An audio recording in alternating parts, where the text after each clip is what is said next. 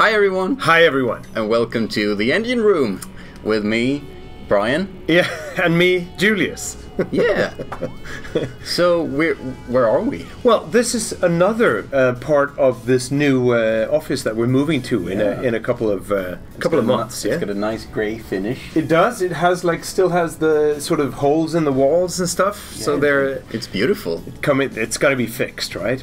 Yeah. Well, today we want to talk about that we fucking finally w- w- went and won the Nordic Game Award for best handheld or small screen game, right? That's like the biggest prize as as far as we care. As right? far as we care, it's the best because it means that we won the handheld category, and it the Nordic region is. You could totally say that it's a world leader in game development these days. it really is. yeah. So like- we're we're very proud. I mean, uh, like the getting it is like you, we're beating a lot of really good peers to get Okay. this prize. So we we won a prize, but Yeah. why does it matter? Well, it to matters. people watching. It matters very much because we've coveted this prize for um, since 2011. We've been waiting to win this. We've been nominated for Anthill, for Steamworld Dig, for Steamworld Heist, and now finally we won it for Steamworld Ah, Dig yeah. too. We'll show a picture of the award here. Yes, yeah. So, Yeah.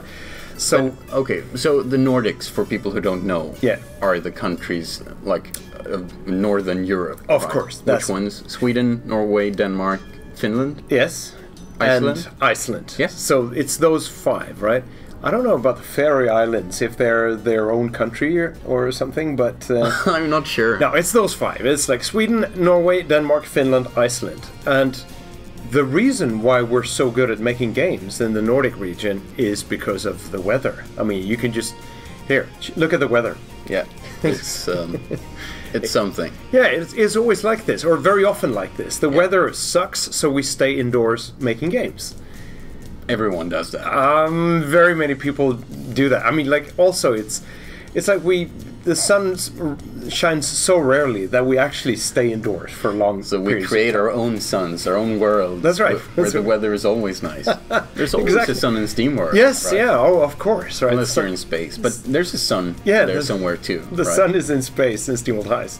So Yeah. it's um, yeah, I would say like the climate is really good, and also I mean the population is um, the Nordic region was just very early computerized Ah, and yeah. internetized. If we had really good internet connections very We early, still have very good.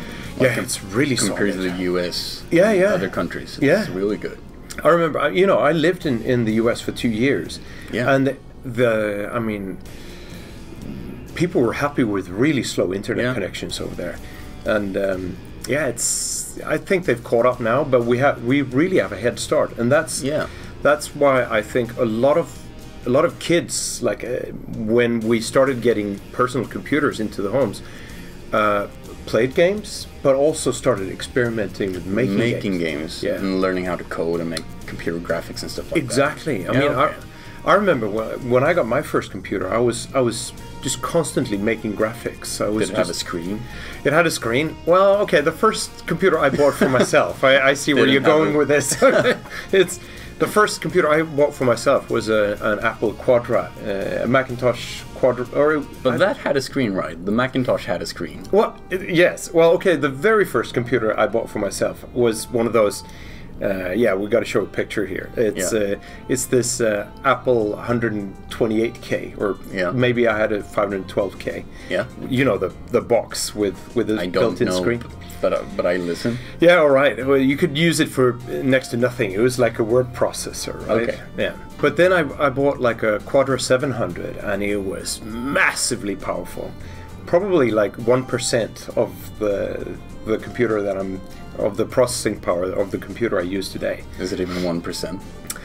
Um, it was really slow. Let's put it that way, because Even for the time? yeah, for the time it was super fast. It was wicked fast. I think But you could do nothing on it today. Um, today you wouldn't use it because uh, you could use it as a doorstop or something like that. But but at that time it was, I would spend, I would get commissioned to make like a poster for for a for a client. Yeah. And like applying one filter in Photoshop on like one poster size thing is I would set it to to start processing, and then I would go to sleep. I would set the the alarm for like three or four hours later, and then it would be done. And then I'd get get up, and if the I mean, it might as well. uh, Sometimes it was just that the results were not what I was looking for, Yeah. or I did the setting wrong and And you had to had, had to do it all. again. Yeah, yeah.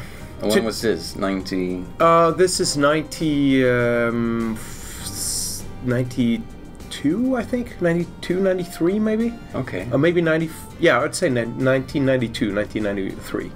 yeah. When I was one year.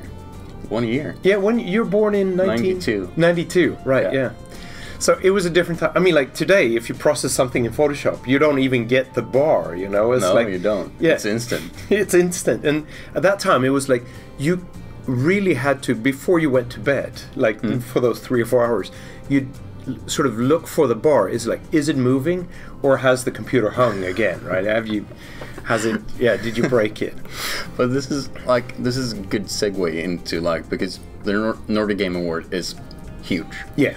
For you especially. Yes. For me, I- It's huge for Image and Form in general, but for you, yes. Personally, it's it's he brags about it everywhere all the time. Yeah, and it, it, like for everyone else, it's like, yeah, so what? They picked up an award for a very good game, right? Yeah, it's it- like, it's one of many awards actually. We're Yeah. blessed in that way. Yes, right. But this one, the winning at Nordic Game was was especially huge for me, and I'll tell you why. I mean, Yeah, maybe we should like start from the beginning. So, Oh, the very beginning? Okay. Or- yeah, Should I? like, All right. why- you know, we've, we've talked about the '90s. Let's move to like Yeah, okay. Because I got a few questions, um, a few emails. Uh, I think one or two days ago, Mm-hmm. Right. um, asking about like w- what did you even make before Oh man. before Anthill and Steamworld Tower Defense? Because Oh, Image okay. Form was founded in '97, yeah. uh, and it's gone through several stages. So like, let's just walk through them one by one. Sure. Excellent. Okay, so 1997. Boom. Boom. it's. Uh, I was five years old. You were five were like old. what, 50? I was like uh, 55 years old. Yeah. Yeah. No, I was in so '97. I was I turned 30 in 1997. Okay. So uh, um, started Image and Form one month before I turned 30. So I felt really young, right? It Yeah. was going to last longer that way. Ah, yeah. and at that time, I mean, you got to put it put it in perspective. 1997, the internet is still sort of. Is it gonna be a thing or? Yeah, exactly. I mean, pe- like it was after '97 that you had this, like members of the Swedish government were talking about like internet being like a Oh. fad that it was going to pass. Uh, Like a minister that very soon after that got fired, and then for that one comment, I think. Oh, for real? And uh, um, in 1997, PowerPoint came, like the first real iteration of, of the real first working version of of uh, Microsoft PowerPoint came in 1997. Okay. That's a good. And that was your break. No, it wasn't. It was my big competitor because I was Oh. working in uh, in uh, in Macromedia Director at that time, Mm-hmm. and Director was this tool where you made. It was like a multimedia tool. You could Oh, I haven't like, heard that word in a while. it was it was the shit believe me like in in the 90s multimedia was it was like a buzzword that just kept on being becoming an old buzzword after a while Okay. right? so i started in 1997 and then what we did in the beginning was multimedia presentations sort of game like, like PowerPoints? um, we could make that, but typically it was more interactive. Like you would interact Okay. with objects and stuff, and uh, you could show like, um, like one one assignment was for like a, a client that made motors. And you could like take the motor apart and show like the, the moving Ah, parts. Okay. So it's kind of like some high, high level keynote something. Yeah, you could. Yeah, you could do that. Yeah, you could call it that. It was, it was definitely very scriptable. It was the Yeah. predecessor uh, of uh, of uh, Flash. Uh, I mean, oh, okay, yeah. So Macromedia made Director. It was the flagship, and then they came out with Macromedia Flash after that, and it became really huge for making that- websites. Is that like the old Adobe? It's or- Adobe actually bought Flash from Macromedia. Ah, okay. So Macromedia Flash became Adobe Flash. Uh, and Adobe Flash became Adobe Animate recently. right? um, maybe I'm not sure actually. yeah, I haven't I, followed think they renamed the yeah. Yeah, okay. So like we were making game-ish things in uh, in Macromedia Director at that time, and so in '97 we did that, and then we did graphic design for uh, for some clients that wanted Yeah. us to make, you know, like company logos, uh, design. Uh, mm, Flyers. ear flyers, you know, just ads, uh, stuff like that. Yeah. Sort of just, yeah, Like, and this is when Image and Form got it got its current name as well. That's right, yeah. So Image and Form is a, it's a shitty name. It's the shittiest name for a game studio. Really, it is, right? But but for like a multimedia studio in the nineties, it was probably okay. it was okay, but it was it was still shitty. I mean, Did you have any alternatives? yes. I mean, so Any I fun ones? Yeah, I started it with my with my ex-wife. She was a graphic designer, and I was a programmer and graphic designer, and so she wanted us to be called Monkey Business. Oh, that's a really good name. I thought it was. These days, I think it's like, God damn it! Why aren't why aren't we called Monkey, monkey Business? That would be awesome. yeah. But I I felt like I was worried that it was going to sound like Unprofessional. yeah unprofessional. Ah. So I wanted it to be to be called Imagination, like Image Nation, like imagination, Image Nation. yeah. Yeah. Okay. It's like kind of hard to like. What do you say? Do you say imagination or do you say image, imagination? Right. Yeah. It was that was shittier but i was Yeah. really a staunch supporter of that so uh, and then a friend of ours said it's like they're both really unprofessional like why don't you call yourself like you work with images you work with graphic design and uh, i mean in swedish design is formgivning so image and form image and form Yeah. but in english it, it sucks right it's like Yeah. it's an image and then there's like a boring form to fill out Yeah.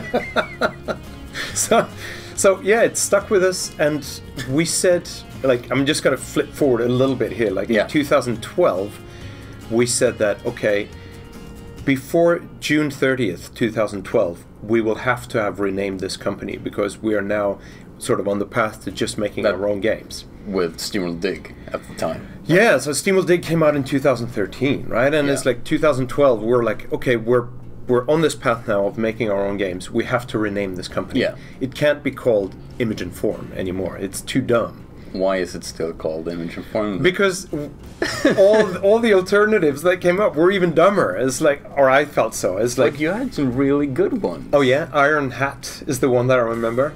Uh, yeah. Do you remember- Othership? Like, Othership, really? Yeah. Better than Image and Form? Yeah. Anything's better than Image and Yeah, Form. anything's better. Actually, in Or- hindsight. Even Brjánn makes games or something. it could be called anything, but image and form, yeah, it still sucks. but it it's unique, right? yeah, it's uniquely bad, so it's sort of unique. Let's put it that way. So I'm gonna go back then. Yeah, So okay. 1997, right? 97. Multimedia. Multimedia, graphic design, uh, programming on the side, sort of. Yeah. And uh, above all, not saying no to anything. It's like you did everything. Yeah, I just said yes to everything. It's like, can you do this? Yes. Can you can you like do the, make this Excel uh, macro? It's like yes. Yeah. Just so afraid of saying no to any business, right? But that must have been a great learning experience, right? Yeah, totally. It's like uh, I got to apply everything that that Yeah. we had learned. Did you do web design as well? Yeah. Well, web design came like we started the company, and then like a half a year later, like the Yeah. web sort of really took off in Sweden, 97, 98. So we uh, kind of instantly moved into web design. That was Okay. uh, so web design was the. Did you know what you were doing? Mm, I think we knew just as much as everyone else. Oh, no which- one knew what they were doing. There was next to nothing. Yeah, it was. Um, So you're you're kind of an internet pioneer. that's that's very flattering. Like Yeah. it's called an, an internet idiot. Let's put it that way instead. Like, oh, there were so many companies starting at that time, Yeah. and nobody really knew what the web was, how it was going to to function, and so on. I mean, Yeah. to, today we have like web applications that we we wouldn't function without them, right? Yeah. And like banking on internet was really in its infancy. It was really shitty. It's like it was really poor, but it was it was it was a, a it was a giant leap, you know. Yeah. I mean, starting image and form. I was sitting with these pads, or like uh, what do you call it? Like um, Stamps? um, Um, stamps as well. Yeah, like physical stamps. But like when you when you uh, needed to pay salaries to someone, you had to like fill out like a. You, you had to do it by hand. Fill out Yeah. these like when you when you applied for a bank account, Payment you would forms. get these yeah payment forms and like slips. That's Yeah. the word for it. Yeah. Took for it like took like a could take like two or three days to like pay all the bills and pay all the salaries and stuff. It was so the internet has really come a long way. Digital is nice. yeah, digital is very Okay, nice. But um, so websites, right? websites. Yeah, and for some reason we sort of uh, we got a lot of assignments from big pharmaceutical companies. I Okay. I, guess we made like one or two sites for uh, for for a pharmaceutical company, Yeah. and then we sort of And your name is like very yeah, sort of ster- sterile, sterile, sterile, stereo. sterile, I, I don't know. How do you pronounce it? sterile. I think. Sterile. Yeah, Yeah. Boring. yeah, really boring. So it's suited. Clean cut. Yeah, clean, boring, sort of corporate. So Was your logo like? it was um, Was yeah. it pharmaceutical like? N- no, it was Pharmaceutic? yeah. It it, it, it looked really. Um, we were very afraid of like uh, standing out or or sticking Yeah. out. So it was very bland, and and uh, so um, so we made that for a few years, and then like when 9/11 hit, we Yeah. thought it was gonna. We we thought it was terrible, but we didn't we didn't see that it would affect our business in any way.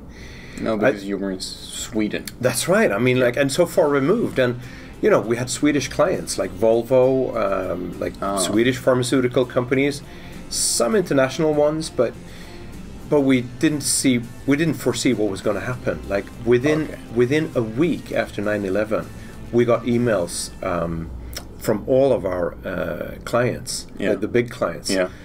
saying that due to the uh, global unrest right now, we we have to uh, sort of put all our um, consultant projects on ice. Sort of have to shelve them for a while Yeah. until we know what's going to happen. Yeah. And it basically like there was there was like three or four months when we were making zero. We had zero income. Oh shit. And at that time, Image and Form was seven or eight people working with web design. Yeah. Like for a, a fixed number of clients. Yeah. It was, we really didn't have a contingency plan for Oh, what is going to happen if all our business stops on the same day. And that's what happened. So we actually, we, what we sort of said, okay, we're going to stick it out. This is going to blow over. Yeah. And after three months of no new business, Yeah.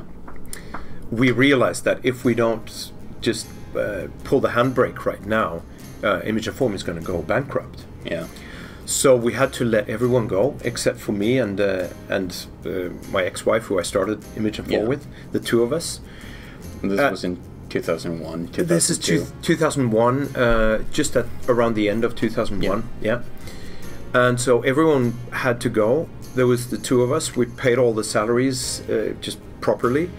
And when we'd paid the last salary, uh, we had 2,000 Swedish crowns, which is around 250 American bucks, left on the credit at, on the bank. So we owed the, we yeah we were in the hole as well, right? But we had, if we had gone, if we had had costs, expenses of like more than 250 more dollars, Yeah. we would have been declared bankrupt because we wouldn't have coverage uh, for the. Uh, um, yeah, we wouldn't have money to back up the, the Anything. anything, right? Exactly. Yeah. That's how it works in Sweden. Like if you're if you're hundred thousand, if you can't cover up like the the money that you paid for the stocks initially, Yeah.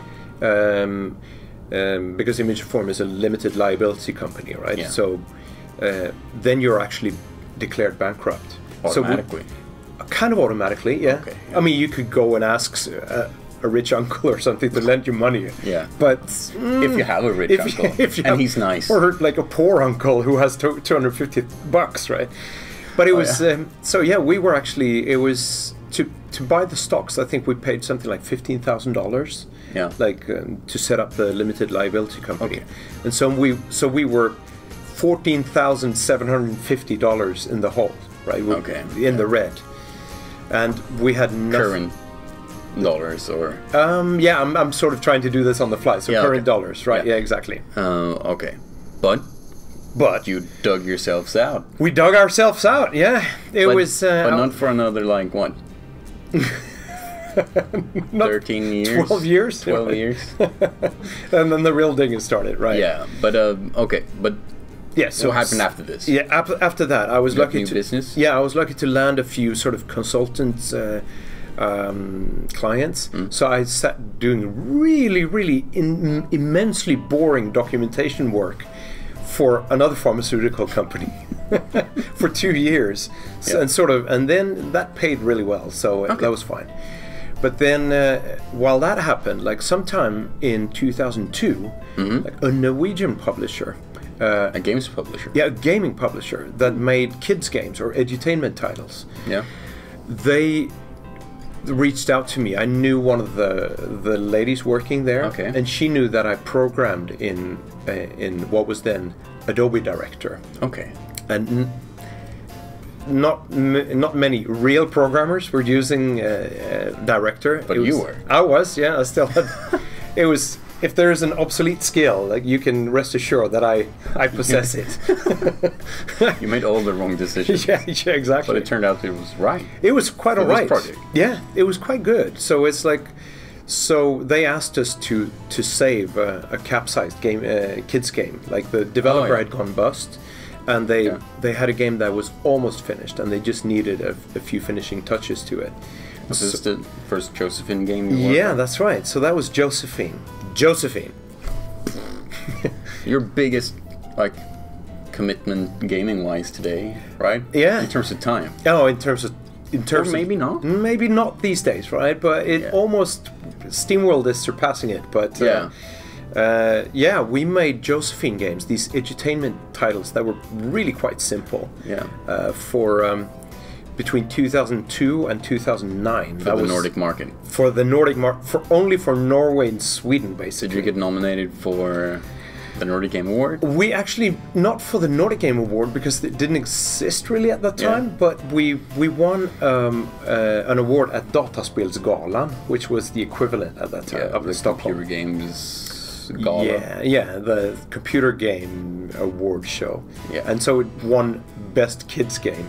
Oh, it did? Yeah, uh, one of the titles because we actually made close to thirty kids games, Yeah. like uh, CD-ROM sure- games, right? I'm not sure Imageform will ever, like, top that figure with...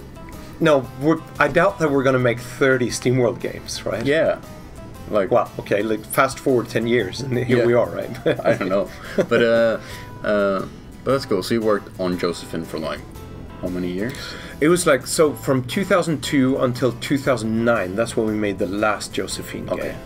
And uh, it was, um, it, the pace really picked up in 2007. Okay. Um, so we had a collaboration then with, uh, uh, the, it, like the publishing was taken over by a Danish publisher. Okay. Who really just sort of Will go unnamed. Yeah, well, fine. And and they they actually put us. Um, they they just demanded that we make uh, titles faster. So we made Oh. in in those last years between 2007 2009. I think we made a crazy amount of Josephine titles, like 20 titles or something. Was it like fun?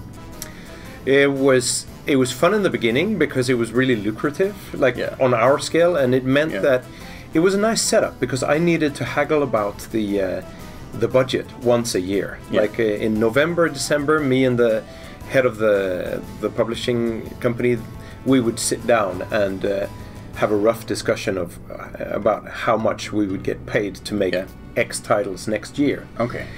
And then we arrived at a figure, and then we made these games, and we got paid, and it was. I mean, compare that to be chasing uh, new assignments all the time. Yeah, right? a dream come true, right? yeah, it was really comfortable, Yeah. but creatively, it was suicide, right? I Soul mean, crushing. Yeah, it was soul crushing because we had, like, with the websites, with the graphic design, with the multimedia, we had always sort of made it up ourselves Yeah.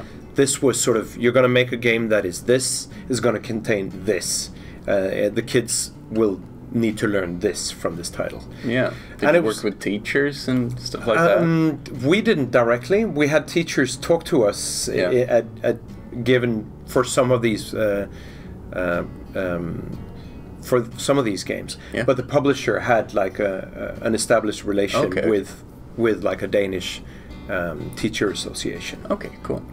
So I think those games were actually legit. Like if you played them, chances were that you were actually going to learn something. Yeah. But uh, but like um, there somewhere there, like in 2008, 2009, we were really on our knees uh, creatively because it was Yeah. we were just doing work for hire. Yeah. Uh, but then, like 2008, 2009, just there, like Apple Ah. came with the iPhone, and the App Store came Ah, and it was sort of our lifeline or like the someone threw us uh, what do you call it one of those uh, life-saving devices yeah. like uh, what is that it's like a buoy or like i don't know how you I don't know. buoy? I don't know. write in, in the comments how you yeah. pronounce that It was a lifeline. yeah it was a lifeline and it was we said it's like if we don't jump on onto this we're just gonna we're gonna fall apart Yeah. like it's just gonna disintegrate also i mean the josephine games were cd-rom games Yeah. like Did so you make a DS game as well? Um no we didn't Okay. we didn't they, actually there were ds games made for for josephine but we didn't make them Okay. Um, but the thing was that so we were making cd-rom games for pc and mac Yeah. and uh, Physical distribution. physical distribution only yeah. and we were using Adobe Director to do it. So our tech was really old. The platform was getting really old. Like Yeah. CD-ROM was like a really are you still making games on CD-ROM? This is kind of it's kind of old dish, isn't it? And then and then also with the advent of the App Store, Yeah. you know, like suddenly you could you could sort of bypass all of these steps in between with a publisher, Yeah. with a distributor, with the stores, and and also it's it's unnatural for a computer game to be in. Oh, okay. Sorry for everyone. I apologize to everyone who loves getting their physical copies of games. Yeah. And speaking of which, uh, SteamWorld Dig 2 is now out on Everywhere. yeah everywhere on on Switch and PS4. Or Uh, in physical. Europe and America. Yes, right, exactly. A ton of people have already bought them. Yes, So- and we're I'm thrilled whenever you get it because Yeah. secretly I love this. I love holding a product that you've made. It's tangible. It's really I love licking the Switch cartridge. Tastes really Julius. funny. But, it, but it's a, it, it's actually a design feature to Okay. prevent kids from like swallowing them. Oh, because it tastes so bad. Yeah. Oh, okay, so they're like gonna the- spit them that out? kind of um, icky, yucky nail polish That you put on the so your nails don't grow. yeah. Oh, So right. your nails don't grow. Oh, so you so you won't So- bite your nails. Exactly. It tastes kind of like that. Okay. Okay. I'm not gonna I'm not gonna lick it. And I think that's the official SteamWorld Dig 2 taste. Okay. Well, now there, I have two reasons not to lick it then, because like the first is you say it tastes bad. The other one is that potentially you've licked all the cartridges. Right? No, only only one. Only I- one. Only yours. Yeah. okay. Hmm. So uh, Potentially someone else might have licked them. okay, so I'm not gonna lick it. Sure, you're not going to swab them. I'm not gonna- DNA test. I'm not gonna lick it. I'm not gonna lick cartridges. Okay, that's, don't. that's not what I do. You don't have to. So anyway, But you made CD-ROM games and no one liked it. well, the thing was like, And, oh, the App Store. yes, the App Store came Yeah. about, right? So it was. This is our lifeline out of like old tech, Yeah. old platforms, like old distribution methods and so on. And creative hell. Yes, and creative hell. Exactly. So I I also I mean it's unnatural for a computer game or like a video game to Oh. to be digital. It's created digitally. Then you move it into analog space. You have to Yeah. go to a shop to buy it. And then you put it in your computer or gaming Yeah. device and it becomes digital again. Like it's it's designed to be digital from the beginning, right? Yeah. So I was really, I thought it was just ecologically, it was a good thing that the, that like distribution would be digital. Yeah, because physical distribution is like, at least for indies, it's, it's more of a collector's item. Exactly. I think. And then it should be that, I think. Yeah. Which is good. Yeah. So we, the App Store came about, and we said we have to make games for the App Store, and so we made a couple of not very great games. Uh, Like Gyro, the sheepdog. D- Gyro the Sheepdog, it's here. It was actually pretty fun. Yeah, well, okay, it's it's Or good, but it's kind of hard to play. Yeah. The thing was, like, it took us forever to make that. Yeah, because you made 3D graphics in 2D, Yeah. so you had to write every or, or draw everything from every possible angle. Yeah, that was it. That it was was, weird. that was But- but- cumbersome. yeah. But it, it, it looks really cool. yeah, I it, think. I think the graphic art style. Obviously, it's like it's Tobias Nilsson uh, who who does Yeah. the graphics, and he's Yeah. a genius, right? The art So- director for the SteamWorld games. Yeah, the art director for all the games at Image and Form, like forever, right? He's um, he's um, he's amazing. So it's it looks good. Then we made uh, uh, Mariachi Hero, Yeah. Which is uh, which which was for reasons it was received uh, negatively. Yeah. But the game is actually quite fun to play. I think. Yeah. So uh, But that was for another publisher. that's right. So we made that for. So it wasn't like Image and Forms game. Exactly. It was it was commissioned, and yes, we were sort of instructed how to make the game. Yeah. And um, I the music is really catchy. yeah, I, I like the music. We should we should look into making that a SteamWorld game. I think. Yeah. mariachi, SteamWorld Mariachi. Yeah, why not? You know, Yeah. because Why not? And the bugs can be Vectron. yeah, well, oh, they could be Vectron bug bugs, right? Yeah. Bugs in Vectron. Yeah, hmm. Sounds- Why would they be? Okay, okay. Let's not get stuck. I don't know. Uh, but, uh, but, uh, but, uh, I'm just going to fast forward here a little bit, right? So we Yeah. made those games, and then um, uh, Olle Håkansson, our uh, lead designer, for SteamWorld Dig, SteamWorld Dig 2, and uh, Steamworld Heist, yeah, SteamWorld Heist, and SteamWorld Tower Defense. and Steamworld Tower Defense. That's what you're getting into. man. Yes, and also this game, he came up with the idea for Anthill. Yeah. We were talking about, we were talking about a game. Aren't like- we skipping forward a Are we? too fast? oh, really? Are we? Tower Defense is. Oh, yes, you're right. Of course. Yeah. Sorry. Yeah, yeah. Yeah, I really don't mean to to make it into parentheses because we had so we had put out Gyro the Sheepdog on on Yeah. iOS, and we were commissioned to make Mariachi Hero on iOS.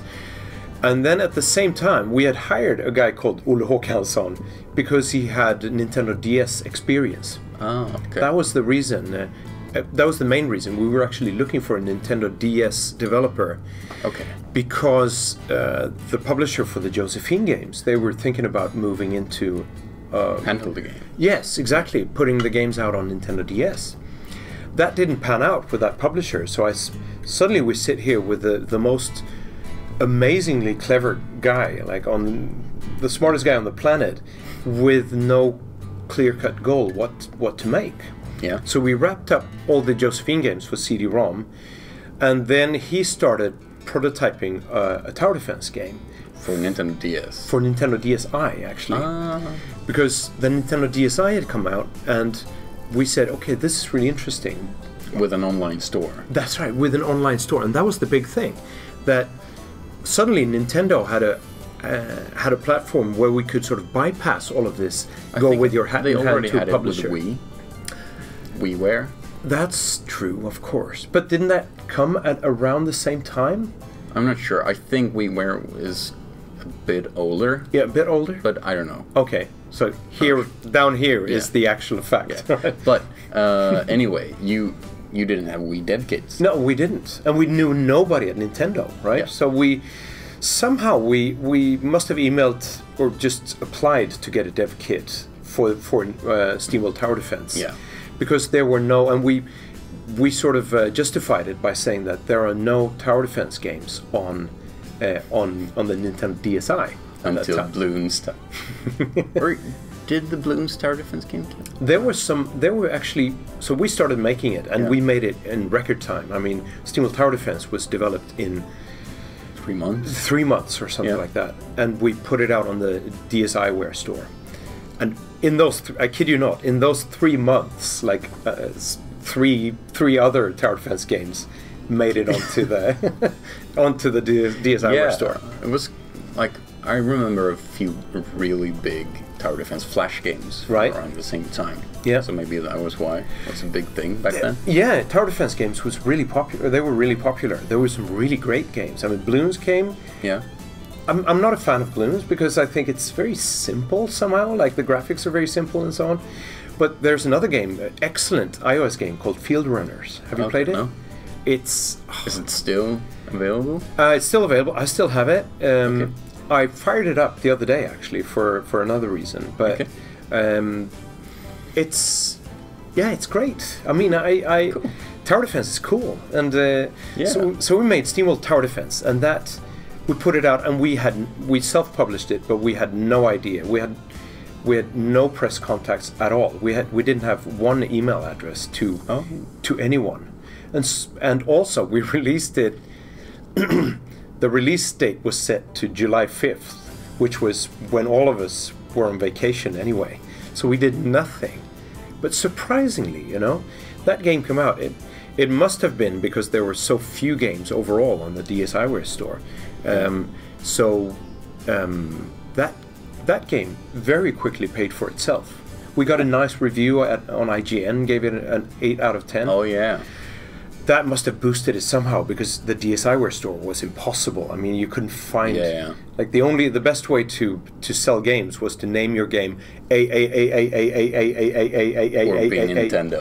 or be Nintendo exactly because yeah that's how it was was listed in the store it was only in alphabetical order I Oh. think, at the I didn't know in that. that in at that time at least so it was really hard to find a game that started on with SteamWorld right Yeah.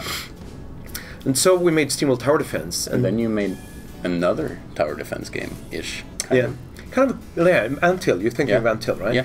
well Anthill is more like castle defense right so it's like Yeah, yeah. It's a real-time strategy, castle defense, line drawing uh, game. Yeah. And it's massively awesome. I think Anthill is whenever I pick up Anthill, I I think hours just fly by. It's out on iOS, right? It- yeah, it's an iOS game. It's out on I- iOS, and uh, it that was that was sort of like the first, um, maybe the very first sort of milestone for uh, critics-wise was Yeah, when we got the eight eight out of ten for SteamWorld Tower Defense. Yeah. But Apple picked uh, Anthill to be iPad Game of the Week Oh. when it came out, and we had since we knew nobody outside of Gothenburg, Sweden, we didn't know if it was a feature that was global or only local, or like if it was for Europe. Okay. And um, later on, I found out that it was it was actually it was a European feature. Okay. Where like we could have wished for like a global feature, like uh, getting it uh, Yeah. featured in in the US. But maybe that so. was good enough at the time. it was massively good enough. Yeah. And uh, and I was really dumb because I we'd worked so hard on that game, and I'd promised my wife that I would go to Paris with her. Like once we were, the game came out. Yeah, once Anthill came out in 2011, and so we went to Paris, and then we got this feature, and I'm sitting in Paris, like looking at the Eiffel Tower when. When I knew that I was, I really needed to be talking We're to journalists. to be working. Yes, it was. And so by the time I got on the plane, I was in the airport in Paris going back, and the, the sales curve had already started to decline. Oh. it's like, no! so, so like on iOS, like 72 hours of fame, and then it was gone. But it was a that was a huge milestone. That A huge boost. Like yeah, the long term must have been. Oh, it's it's good. still it's still selling today. It's Yeah. worth that game is doing fine. It's it's paid for itself Multiple times. many many many times over. That's cool. It's very cool. So, but what it really meant was that with Anthill, suddenly we knew something that we never knew before that that Image and Form actually had real potential to make really great games. Yeah. Yeah. So after after Anthill, we we prototyped a lot of different things. Yeah. And and then we got With the nerv- goal to self-publish again. yeah, Like a bigger we- game. Yeah, exactly. But already then, you know, like 2011, like uh, early 2012, the tide was turning. Like uh, iOS, the App Store was going from paid, sort of switching over to free to play, Yeah. and it was we were feeling it. That You weren't interested in free to play, right? we were we just didn't understand it you know it's like um, at like the first thing it was also that the the first games that came out free to play were um, they were so greedy like you remember the, Yeah. the smurfberry uh, incident like yeah. uh, yeah. Who was that was it konami who, that put out a smurf game i think No idea. uh, and but I, rem- I remember reading about it in the newspapers. Yeah. Some kid like used.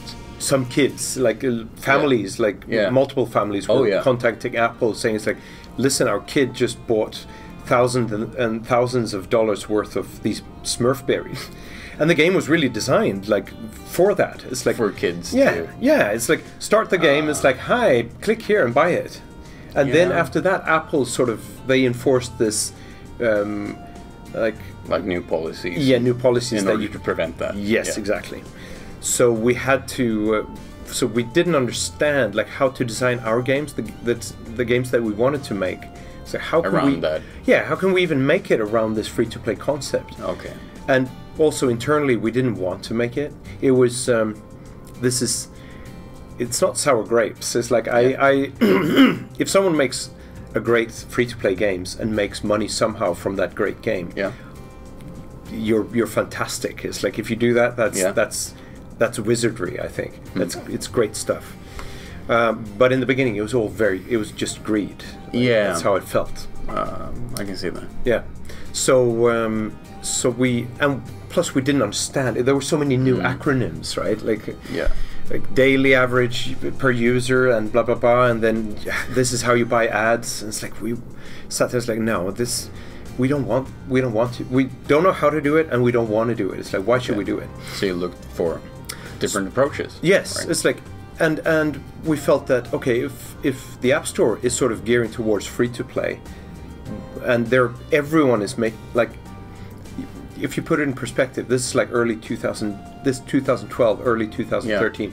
Every game uh, studio in Sweden were they were only talking about mobile.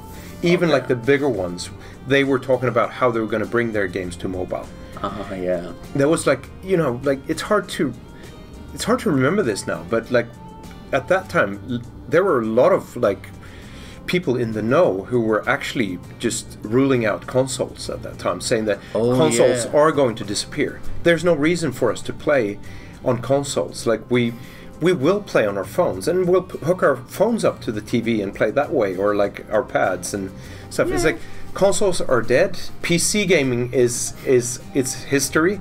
It's all going to be mo- mobile. Yeah. I'm, I'm not slamming this. It's like it was really easy to believe that Yeah. at the time so i was at a at, at, a, at like a an executive uh, meeting like where executives from all of sweden's game studios were getting together and we had already decided at image and form that we were going we were not going to make our next game for for ios Yeah. we were going to make it for nintendo 3ds like it was in the new it was a new platform from from Yeah. nintendo And the eShop was still fairly new because it wasn't out in 2011, if I remember. correct. you're right you're right it's Or not at need- launch, at least. No, exactly. We need to check our dates Yeah. probably, but uh, Yeah. But around that time, it was no one was even Talking about it. yeah. It's like, and I was sitting in that room just thinking, it's like, am I the only one in this room that has decided that we're not going to make mobile games, like, or or or go down only that path? Yeah. And everyone's everyone's backslapping each other. It's like, oh, it's gonna be great. It's gonna be fantastic. And then one brave Danish game developer raised his hand and said, "Yeah, it's like I'm I'm happy to be at this meeting today, but since everyone knows everything about mobile gaming, could you please explain it to me? Because we've we're putting out." Game after game on mobile, and we're not making a cent from those games. Okay. So what are you guys doing? And then it was like, it was like uh, pulling the bottom out of a bucket. Like everyone's like, yeah, I know what you're saying, man. It's like no um, no one was making money. No one was really succeeding. You know, it's like maybe someone was, you know, or like Yeah. two of them, but th- all of them were trying, and no one was making money. Okay. So, um, so uh, that was what made you like. Did it make you confident, confident Yeah. in 3DS? Yeah, no, it, not in 3DS because like Or the jury was, the it made me at least sort of Swedishly happy if I can, because Swedes we're really. Uh, um, as long as no one else is doing fine, you're doing fine. Yeah. it's the worst kind of. Is it Schadenfreude? They they say in even in English. I don't know. Yeah. So it's I'm, I'm joking about it, but it also it made it at least made me confident in this. Is like okay, we're not wrong in leaving mobile. Yeah. Like not everyone is is confident about. Or at this. least not focusing only on that. Exactly right. Maybe if we have a game in the future, we could bring it to mobile. That Like Steamworld Heist. SteamWorld Heist. It worked really well. Yes, re- really well. Where Dig uh, wouldn't really work. No, no, SteamWorld Dig and Steam SteamWorld Dig 2, they're just too um, too input input heavy. It's like there are too, like, so many it- buttons. like I'm sure it could work with touch controls, but it would be a watered down version. It wouldn't super be watered down. Yeah. Yeah. Yeah. uh, yeah. It's we've we've talked about it so many times. And Yeah, and if people it- are requesting it. Like we could release it with controller support, but not that many people have access to. That's the thing. Bluetooth right? controller. Yeah, right. It's it's one of those things. Right? As you, when Apple, I mean, we're side we're we're sidetracking here a Yeah. little bit, but like if if with the Apple TV there was like a decent controller, Yeah. you know, it's it could be a really interesting concept. Again, Yeah. it's like a small portion of all the mobile uh, users, Yeah. but but still, you know, it's like I think that would be a step towards real gaming at yeah. least. Who knows what's what comes in the future? Sorry for using the term real gaming. All gaming is real gaming. Yeah, but, but uh, a, a traditional traditional gaming controller-based yes, gaming. That's what that's what I mean. Yeah. So so then so now we are like early 2013. And you're- spring 2013. you're making Dig.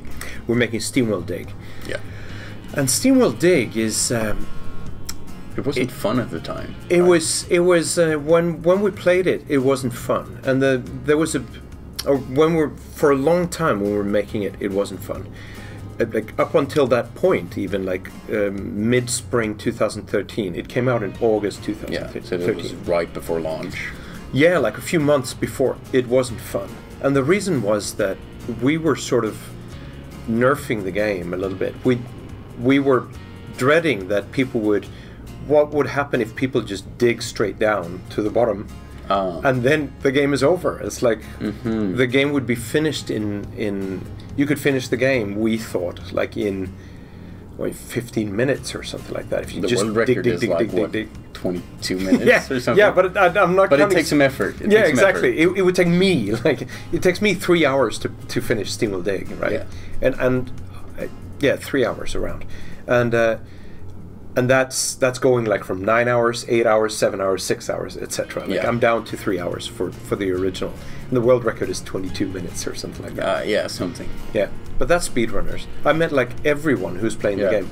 How, what is stopping the player from just digging straight down to the bottom, Okay. defeating the boss, and it's Is game that over? how like different upgrades and different materials came into place? Exactly. So that's that's when uh, again Olle Håkansson, the lead designer, he sort of said, "Okay, we're not going to do any.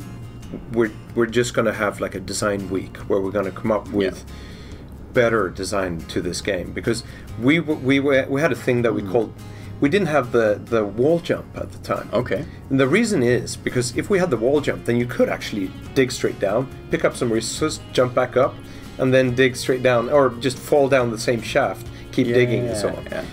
But uh, but then when we came out after that week, um, so what you had to do at that time, you had to sort of zigzag your way down Okay. to be able to get back up again. It was it's useless, really. It's like and Yeah. but we didn't know how to beat it. And then after that week, those the Mm.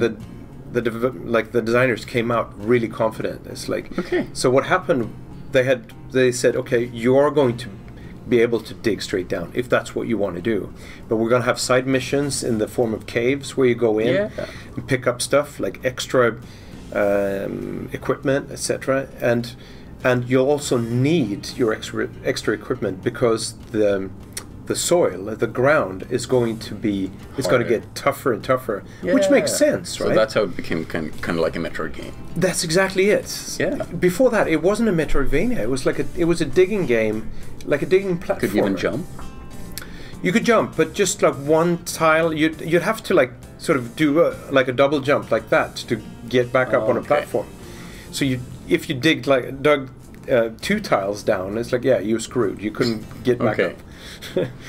so um, so then it became a Metroidvania game, Hmm. and just you should have.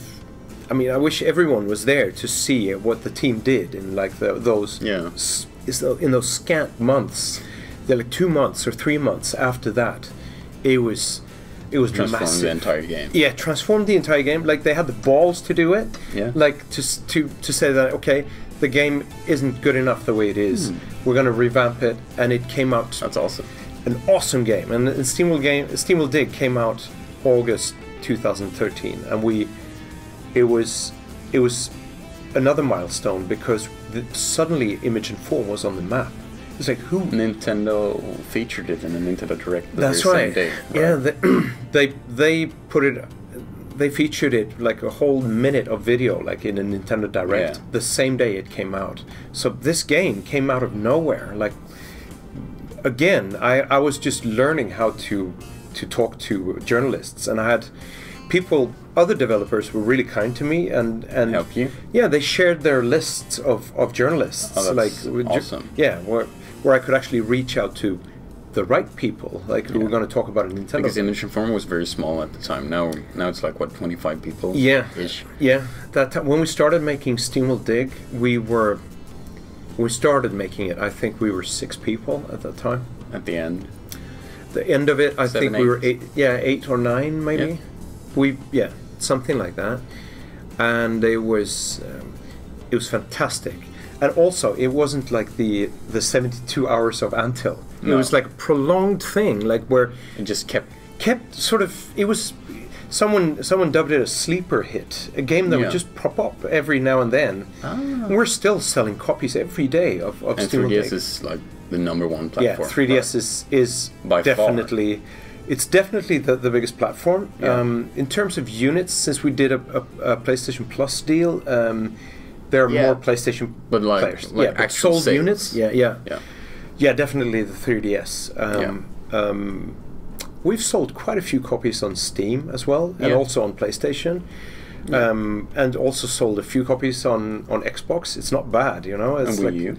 the Wii U. It's uh, It was quite good. yeah, it was quite right? good. It w- because the game was.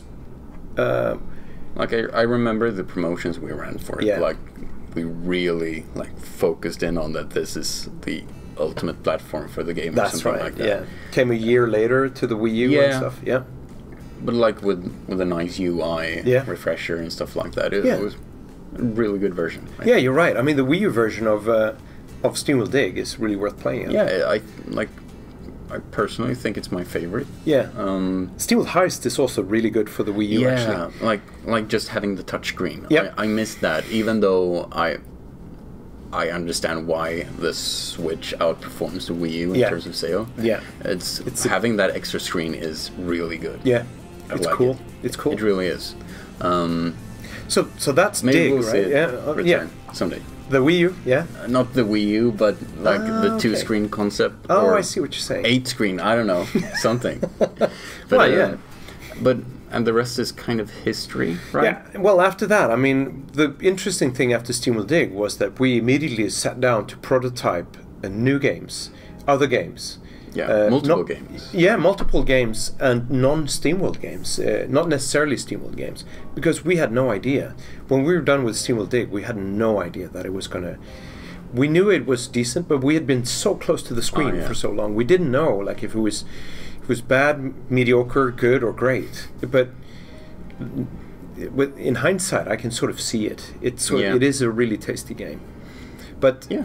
so we started. Obviously. Yeah, well, it's it's doing quite all right. So we prototyped multiple different games, and none of them really took off. You ran with no.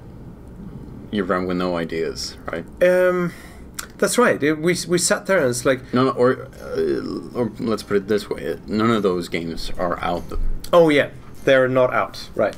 or aren't even close to. Those are. No, you're right. They're Yeah. not even close to being out. Right.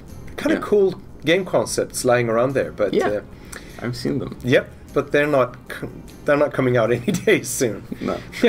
so anyway, like uh, so that's SteamWorld Dig, and then but then SteamWorld Dig took off, and we and I was I said, man, we gotta we gotta come up with a, a new game, like a, a grand game, because like all of almost all of the um, SteamWorld Dig reviews ended with, I can't wait to see what the studio is up to next. Yeah. And by our standards, SteamWorld Dig had taken a really long time to develop. It took like It was a huge game. Huge game, yeah, like- anything you've ever made yeah, before. took like nine or ten months to make that game. I mean, we could make one of those edutainment games in a month and a half or something like Oh, that. Oh, you could? Yeah, it was me being the lead programmer, so there was real efficiency there. Yeah. So uh, and what? What was it called? Adobe Director, yeah. what language was that even? Oh, it the the programming language is called Lingo. It's really cut above the rest. Like the Or fact that I, I had else. never heard about it until I joined Image and Form. It's, Really? Yeah. It's quite telling, right? Yeah. Well, maybe you're not, Not that I know. Yeah, maybe of- not very educated. I'm not right? very educated. but it, so like we we made these prototypes and then i got really antsy. I, I felt that if we now have this success we have this only chance that Yeah. our next game if Ah, it is underwhelming um, people are going to say that Forget oh okay they're Image yeah they're a one-hit wonder a flash in the pan sort of studio. Uh, it's like remember when they made good games like SteamWorld Dig and so on, and and we also didn't want to make SteamWorld Dig two because Yeah.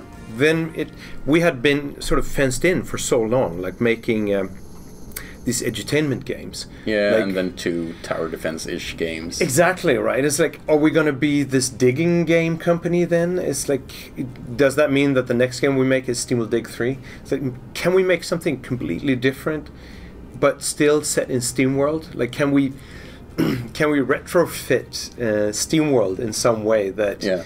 that we can sort of make it encompass any type of gameplay? yeah, And so, um, like a lot of lunch break discussions, I think the guy who came up with the idea was a guy called Jakob Wahlberg in the office. He had this idea for like an XCOM like uh, setup, but seen from the side, right? Like a Ah. 2D game. 2D XCOM. He was playing XCOM at the time. A Yeah. lot of a lot of the guys were playing XCOM, yeah, and so uh, like a lot of discussions sort of led to a game design document that Olle, present, Olle Håkansson presented to me. yeah. Uh, For SteamWorld Heist. for SteamWorld. Heist. And it was this soldiers in space are going to go do this. Yeah, And I had only like there I had two conditions for that game. It was uh, the first one it had to be a SteamWorld game. Somehow we had to write it into the SteamWorld lore. Like um, it has probably has to be set in the future sometime yeah, um, because now the steam-driven robots they'll need to uh, be able to build spaceships and stuff. yeah.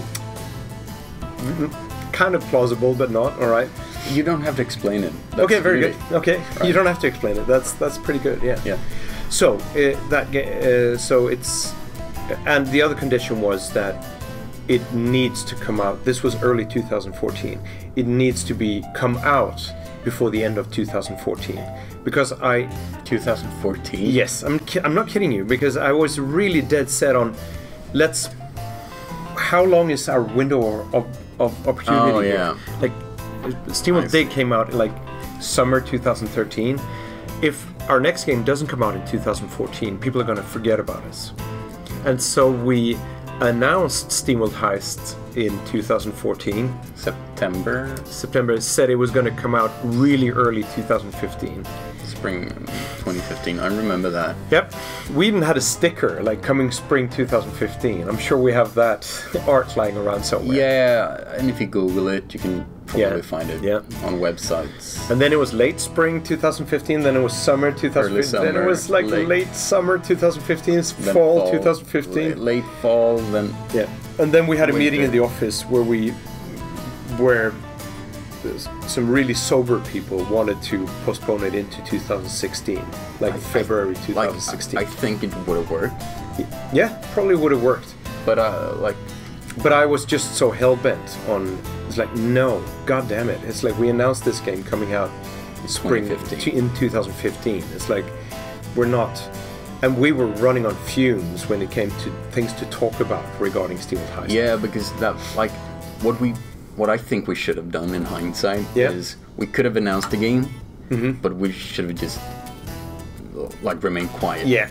Shut up about it. Like, yeah. Show here's some gameplay. Yeah. that's all you get for now. Yeah. it's kind of like the approach we did for Steamworld Dig 2. Yeah. kind of It, ish. yeah, it was. It was. Um, yeah, it was. It was at least a lot closer to. Yeah. The reveal was a lot closer to the release. yeah. So. And we really didn't spoil much about the game either, which I think is which is good. Yeah. Oh, you mean with the reveal of SteamWorld Dig 2? Yeah. or or anything. Like Right. we, we talked about some parts, Oh, yeah. but um, like in screenshots and everything, we Yeah. we left ev- most of the game Yeah. untalked about. Yeah. even some of the like big systems. Yeah, but I mean, like, SteamWorld Heist was like we're we're like this really beautiful stripper that everyone wants to see strip. But and like in September 2014, we take off the jacket and then we dance off stage, right? Yeah. But then, like for like until it came out in December 2015, we're sort of forced to strip more and more, Yeah. reveal more and more of this game, right? And Exactly. and it was probably a bad analogy, but like that's how I felt. Like that we had we had less and less to to to talk Yeah, about. because we shared stuff every week. Yeah, like one the- the Heist Tuesday, if you remember those. I remember those, and I also remember your initiative, like the SteamWorld Ambassador uh, challenges Yeah, and all exactly. that. that was a big, really popular thing too. It's Yeah. like, uh, Um, and like, we did a few for Dig 2, and Yeah. it would be super interesting to do those in the future. I think so too. Yeah. like community driven, um, what's it called? Like content, like community generated content. Yeah, exactly. exactly, stuff like that. Um, maybe I would love to see like actually drawing designs because we were g- gonna do those for Dig 2. Yeah. We had to wait to announce the game. yes, and most of the stuff was already finished. Yeah. And like I understand why people couldn't. Like we didn't really have time to put in a new character Exactly. or a new area and stuff like that. Right. We managed to do it anyway, Yeah. like the Hell Caves in the last few weeks of development. and That's stuff like- right, But yeah. but it was like just just getting um, or giving people the chance to name a character. That's right. Or um, what more? We had a few more. Yeah. Like that was that was a huge deal, a huge win. it was. I mean, the ambassador uh, program or challenges is. uh, We have no reason to, to stop doing that. exactly. But right now we're sort of okay, like going to today. I mean, we're sort of in limbo land because we're not talking about the next game uh, Yeah. yet, right? So And it will be very, very close Yeah. to release when we reveal it. So maybe we'll have to like plan some challenges well in advance. I maybe, think so, yeah, Like and save we- this portion of the game Yeah. or, or these portions of the game. I don't know how it could be any kind of game. yeah, God, let's let's not talk about it anymore, Right? I haven't even said that it's a Steam game. Okay, let's not talk about it. Yeah. So because we are going to like, uh, what do you call it? We're gonna spill the beans. Yeah, spill the beans, right? Yeah. Uh, but um, okay, so, So- that's Steam. Steamworld Heist. Yeah, it came out in December 2015. Yes, Um, and to universal acclaim, right? It was On like 3DS. yeah, on 3DS first in December 2015, and then the other, um, um, and it was it was just so well received, right? I mean, um, plus it was this thing that this studio can take any game genre and just turn it into a nugget, right? Yeah. It was. It, it was it was so reassuring also internally.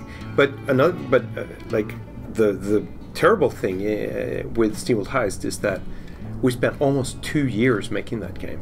Two um, there was 22 months like Yeah. from from beginning to end. And we were again we were sort of like creatively uh, desperate towards the end of it. We were so tired like the the team was so tired of working on this game. Yeah. But the game is so awesome. It's like Steamworld Heist is so. I'm so proud of that game. Like I'm proud of all of our games. For maybe maybe it's maybe it's that, that I'm actually proud of them for different reasons. Yeah. But I'm so proud of Image and Form that we could do make a really great game and then with the same IP make a completely different but even better game. Yeah. And, And then do it again with Dig 2. Yeah, and do it again with Dig 2, right? It's Yeah. so And then do it again with our next game. Yes. Right? well, let's let's hope so, yeah. Yeah. Right. Yeah. Something. But so when we did things a little bit differently with Steamworld Heist as well. I mean, Yeah. we put out like a DLC. We hadn't haven't done Yeah. that for any other game. And we um We- and a multi-platform release on Steam and And PlayStation, right? yeah, Came out exactly. s- same at the same time. We flubbed that, I think. Yeah, we did It was really a uh, huge lesson in like planning, Yeah, like a huge Yeah. lesson in how how not to. team management, planning, It was all uh, kinds of managing ex- expectations. all kinds of things. It was like we it we had all kinds of problems then. It's like it was it was pre-order in one region and then yeah. another one it wasn't, and that was it was just very difficult. Yep. And and then like late 2016 we put it out just because we could on iOS, Yeah. and and the and and it's ten bucks right on. Uh, Yeah. It's a really expensive game on iOS, and but it sells well. it sells really really well. And Apple's featuring it heavily too. That helps, of course. It really, I mean, obviously, it's like putting a game out on iOS is just as tricky as as always, and as tricky as for any other platform. Probably Yeah. trickier because there are so the many games hardest to get out. visibility on. Definitely, and then it. If you don't get Apple to lift up the game a little bit, it's hard. especially a premium game. Yeah, but there's and and one guy in the office, more or less, more or less, one guy sort of Jarl. Jarl, Jarl Larsson took that all the way into Yeah. uh, over the finishing job. line. Did a beautiful job. Yeah. Sort of terrible time for him because everyone else was sort of working on the new thing that was SteamWorld Dig 2. And it's like, yeah, why don't you make the iOS version of SteamWorld Heist, which was sort of in our minds at the time it was sort of a parenthesis anyway. Like we didn't expect Yeah. to to But it became like one of the major platforms. yeah, like in terms And, of an, and income. an image booster as well for the game. Because, Totally, yeah. Because it, it was it wasn't underperforming, but but it did so much better than we Ex- thought it would, Yeah, it, we it, and it, it- reached people we never thought we would reach. Exactly, right? So that sort of makes us think about like future releases as well. Yeah. I mean, obviously, we were already working on SteamWorld Dig 2 at that time, Yeah. and we kind of we we talked about it and just decided that it's not going to be an iOS game because Yeah. it's it we can't make the game. It, people who get that version of the game Yeah. are going to say, "What is everyone talking about? This is just really cumbersome to play." Yeah. And um, and moving on to Dig Two maybe. Yeah. So then, I mean, for so long. yeah, right, exactly. So But uh, but but Dig Two, we developed developed it for the NX as it was called back Yes, then. that's right. We've done a few videos on that. Yep, we have, and we, Um, I mean, I mean, we've always maintained that we were among the first developers to get a dev kit. Yeah. and we we got it, and Didn't know what it was. it was it was yeah, we couldn't talk about it in the office. It was it was an awesome. I'm not sure thing. we still can talk about it. Um, we can say that we had one. yeah, well, uh, yeah, because that's we're right. done. Yeah, we're done. a- and the videos are still up, so Yeah. it must be okay. Yeah, but I, I I doubt that we're gonna like post footage of the NX. No, and of course right? not. Uh, but um, we were making like the, that was a huge thing, right? Because it, it would pretty much be not a launch game, Yeah. but a launch window game. It was in my head again. The like I'm, I'm, I'm optimistic to a fault. Usually, like I, I really think that we're going to be able to, to. Uh, Overperform. how we? I think we was. I was going to use that word, but I actually think we always do overperform. Yeah, but overperform even more. Or, yeah, overperform over like the overperformance performance. Yeah. if, you understand Do the I mean. impossible. Yeah, do the impossible. So I, I literally thought that because we got the dev kit so early, and we knew what we were going to going to make. We were going to make SteamWorld Dig 2. We had made It's gonna be SteamWorld- easy. Yeah, it was going to be easy. It was going to be fast because we knew what SteamWorld Dig, what made SteamWorld Dig into such a great game. We can just emulate that, and then then we sort of. It's not like we ran into problems, but we, the the like everyone in the team wanted to make SteamWorld Dig 2 uh, uh, like a tour de force, like because Yeah. it, it, I mean, making a sequel, it's it's really hard to make a sequel. What do you have? The thing you have to like in a sequel really make sure that you're not just taking stuff and and doing it doing it again. I mean, in in SteamWorld Dig and SteamWorld Dig 2, you're actually only sharing like one piece of equipment. Really, it's like the Yeah. pickaxe, so two, and the speed boots. Like you get the speed boots, and then Yeah. it's different. Like the upgrade tree is different in SteamWorld Dig Dig- 2. Yeah, yeah. From from Dig 1. Yeah, yeah, definitely. It, it's bigger, um, and just so much more complicated. Yeah. In a ton of ways. Yeah, and and much more clever and much more dynamic And it's much like- more fun. Much more fun. And and I really wanted Steam SteamWorld Dig 2 to be a launch title.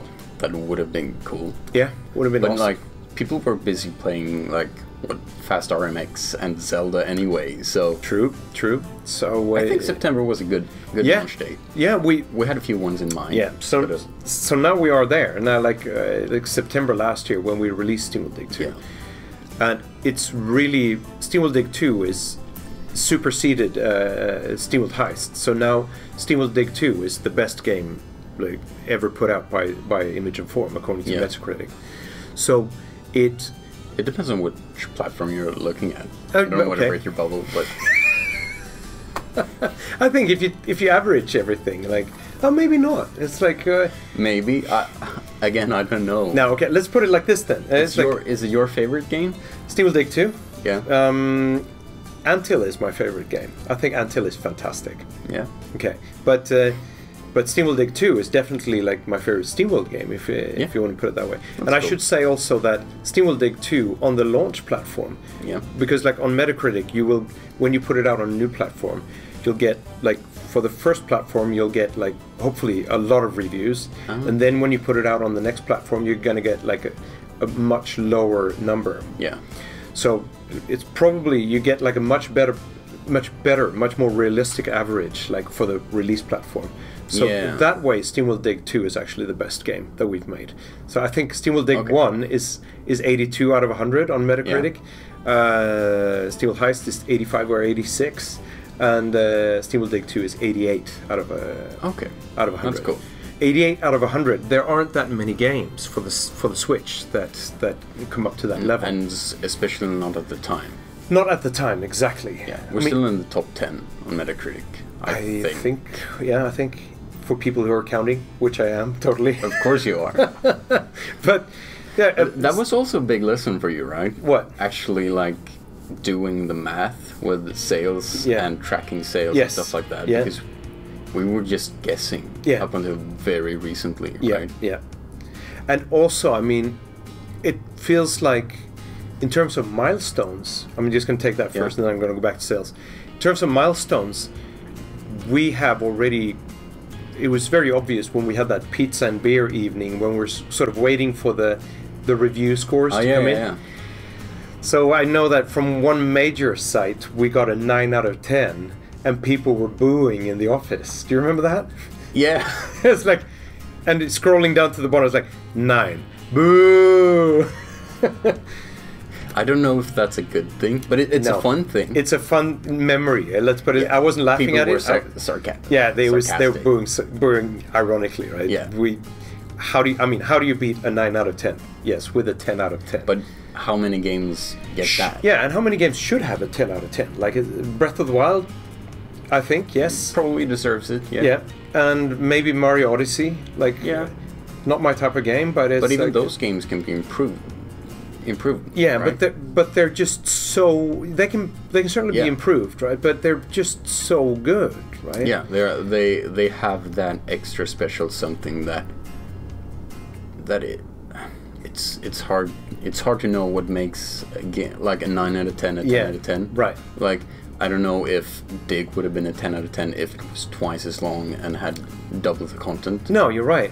Maybe for maybe if it was still, I think the prize Yeah. uh, decides that as well. Yes, like- it does. Right. because I, I don't think it's like it's it, to me at least scores are a way to measure the value Yeah. not the not necessarily the gameplay quality I see what you're saying. So, like, Because if a, if a game is if is if a game is one buck, yeah then the value is, or uh, it yeah should but, have but, a high but, score. but like um, there are there are eight at like take um, dig one tower defense dig two and heist Yeah. each of those have a number of eight out of ten reviews or Yeah, tower right. defense has one yeah.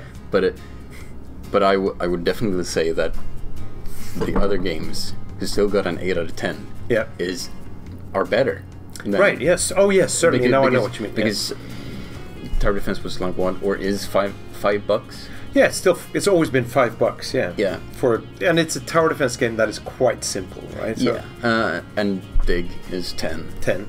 Heist was 20 then down to 15 Right. and now the ultimate edition with all dlc included though is 20 On the Switch is twenty. Yeah. Yeah. Exactly. and dig 2 is 20 Yeah. Um, Yeah. So like, if if you spend forty dollars Mm-hmm. on Dig Two, would it still be like a nine out of ten? Very good. Yeah, that's a really good uh, observation. Like, Yeah. or, or or if we just do it extreme, like, Yeah. if it was sixty dollars, like, Yeah. would it be a, a nine out of ten game? It's Maybe. Like, yeah. I don't know. Hmm. Like, we haven't we haven't put out a game like okay, that. so let's just raise the. yeah, let's raise that's the price. that's very int- an interesting discussion, and maybe you have some like, what do you think? Yeah. yeah, write it down below. Like this is really this really interesting. It's good for us Yeah. to know as well. Um, So here we are today, right? It's like SteamWorld Dig 2 is is the best. Objectively, it's the best thing that we've made, right? yeah, because you won the Nordic Game Award. That's right. So that's where we started, and Yeah. finally, Because you, you were nominated for Dig. we were, we were nominated for Anthill, we were nominated for Dig, we were nominated for Heist, now for Dig 2. It, for Heist, we were nominated in three categories, you know? Oh. And I, I sat there and it's like, okay, we're gonna pick up one of these. Like, Yeah. we're, we're, it's likely because the game is so good. And I really think the jury did a poor job. Like, in 2016 when the, the when the when Heist was sort of on the chopping block, and then now I think we picked up what we should have picked up, which was one of the two uh, heavyweight categories. It was like overall best game, and it was like handheld slash small screen uh, Yeah. best game. The other ones were like you know the graphic design, uh, Design. Game, game design, au- sound effects or audio. Uh, I don't know about that Yeah, one. yeah, but, of course, But, right. but minor or not as cool category. no, exactly. I mean, yeah. according to us. yes, It depends on what game you're making. If you're making a music game, the best music is, of course. of course, a good thing. Yeah. As a- one one way to measure it is like we won the category that was presented next to last. Let's put it that way. Yeah. So Not uh, game of the year, but- best small screen. yes, of the year. best handheld or small screen. So it's like the best handheld or, or mobile game of the year. Yeah. And that's sort of That's how I view SteamWorld Dig 2. It's a Switch game.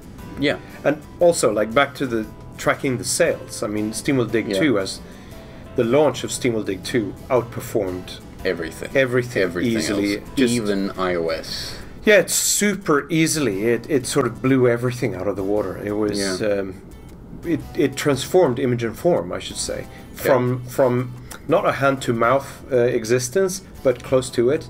Like before SteamWorld Dig 2, maybe we had, you know, we, at every given point, like at at the best of times, we would have like three or four months worth of expenses Yeah. in the bank. Um, it's not like that anymore. But now we have we have five. now we have five months. perfect. but but I guess like why the Nordic getting like why? Why is we I don't think we can wrap this up in a neat way because like like what I from my perspective is that you like the Nordic Game Award so much Yeah. because you didn't win it the last few times and now you're finally getting recognition at home. Yeah. Is it kind of like that? Well, it's like you know, uh, it's it's a Swedish uh, expression. Uh, there must be something like, uh, but uh, uh, equivalent in English. It's like we say, nobody becomes a prophet in his native country, right? Ah yeah. Uh, like to be to be acknowledged by your peers is what life is about, right? Yeah. It really is. And Oh, this is getting deep. yeah, it's getting really deep. But it was just it's it's so it's a mix, right? I, have been sitting through these award shows Yeah. patiently, like just knowing or like sitting hoping, like that. Please, please, because it would mean so much to me. Like if Yeah. we if we win this, like if the the Nordic game community Recognizes recognizes that image image, form. form is what because the rest of the world are talking about steam world Yeah. like uh, the in in really reverent tones like uh, Yeah. Famitsu in in Japan which is like the maybe Even it's Nintendo Japan. Nintendo of Japan but like if you're talking about like review uh, insta- or institutions like Yeah. Famitsu is it's dead serious Yeah. and Famitsu gives Steam SteamWorld Dig 2 such a high score that they have to send us a bottle of champagne and a gold medal Oh, yeah. I- We can show pictures of that. yeah, it's coming here. So, uh, well, uh, we drank the champagne, didn't we? No, we didn't. Oh, we didn't. It's Of of course we did. It was delicious. Arigato gozaimasu. but but uh, so so there's like milestone upon milestone like of international recognition for image and form, but still you sit through uh, like Nordic game and and you don't win, right? And it's it's like Because there are so many good games from this region. There- it, it is a tough. Yes, there are so many and good games. we have like our head in our bubble. yes, or- yes. In, in it- the Nintendo bubble, if you want to call it that. Yeah, I mean, even that. because like Nintendo of Japan, like Nintendo Minute, like they they chose the choose the best games that come out for the Switch. They highlight uh, SteamWorld Dig 2. Yeah, and they are our peers in many ways. so- They're- yeah, so they're separate- lot. yeah, exactly. But the Nordic Award is kind of like it's some a sort of recognition that is universal but local, if you know what I mean. Well, it's like getting deep again, but it's like Yeah. almost like having your parents notice, or like like uh, pat you on the on the Yeah. shoulder for so, for doing well, right? Good job. Yeah, good job. You did well in school. Here's your recognition for it, right? Yeah. Um, um, because Nintendo Japan is they they made a poll around uh, among Japanese players like Yeah. what game are you recommending to your friends and it's Yeah. it was it was uh, Breath of the Wild it was Mario Odyssey and it was SteamWorld Dig 2 in that Third order place. Yeah. yeah so it's like come on it's like give me that prize sometime You were getting impatient. no it's That's, really impatient. that's what it was all about. You were just impatient. Yeah, impatient. yeah, but because it, there was there has been so much su- su- success, right? And I'm, I don't want to sound greedy, but it was really important to get the Nordic Game Award. Yeah. it's, it's like it would be more important than getting like a BAFTA award for me, like uh, because I have no relation to that. Yeah. I've been I've been going to the Nordic Game conference like for so many years, like while we were making these edutainment games, like. It's like, oh, Wishing oh, you're, you could be on. yeah, stage. wishing, wishing, like this guy who's like, it's not like that anymore. But it's like I always, in the beginning, I felt like there's this cluster of people talking and they're joking about something, and there's this guy standing wanting to be a part of the Of the club. of the club, of the cool guys. And it's like, what are you guys laughing about? It's like, yeah, are you having a party? that's that's. And you didn't want to be that guy anymore. N- well, it, it like literally it wasn't like that. No, it's it- like it wasn't. But like, but but yes, it's like, come on, guys, we make some of the best games on the planet. Can we? Can you please pat us on the back for that? Not on the head, but on the back. Yeah. Like, yeah. So it was really important. It's Yeah. yeah, it's very. You know, it might be childish, but it's uh, it was But important. we make games. yeah, we It make isn't games. child's play, but But yeah, it's it's it's like I, I guess I'm just overly competitive too. It's like Yeah. uh, I I want to win. I want to make. I want to be in the studio that makes the best games on the planet. I Or, think or rather, I want m- I want m- our studio to make the best games on the planet. I don't want to go to a studio that makes the best ones. So if image form suddenly dips, you're like, so long. Okay, bye. Bye. No, well, that's No. the that's the thing, right? It's like it's No. part of like com- being competitive. Like, I think. I, I think no one would question your like loyalty to image and form. No, that's not going to go away. It's like You made like what PowerPoint presentations for image and form. yeah, 20 years ago I did. Yeah. Yeah, Be- better than PowerPoint. It was uh, it was director presentations. I think that's a good place to like wrap things up. Should we wrap it up? Yeah, right. I, I, don't, I don't even know how long we've been sitting here for. Like an hour, and an hour, and a half, maybe. Yeah. Let's not edit this today. This time, right? It's Yeah. like let's just run this. That part about the stripper, though. No, that's fine. Yeah, They're they're, fine with they're it. grown-ups. It's just an analogy. It's a bad analogy. They might be and I'm full of grown-ups. that. Uh, yeah. Okay. So, um, yeah. Ask your parents if you're allowed to see this. Yeah. Cheers, man. It's been Yeah. uh, great talk It's to you as a- always. Yeah, same to you. Um, yeah, so this is the complete history of image and form and why it, yeah. the Nordic game Award. is so, So- goddamn important. Yeah. So goddamn important. Yeah. That's it. Um, we should like the title we had planned for this was the history of image and form, but I think it's going to be the complete history of image and Oh, but that's wonderful. That Yeah. sounds great. of course, it isn't the complete, but as as close as anyone's ever gotten. Yeah, right? that's right. Well, thank you, Julius. Yeah. Thank you very much Thank for tuning you, in, and uh, we'll be back soon, right? Yeah. See you next time. Bye bye. Cheers. And that's not edited one time.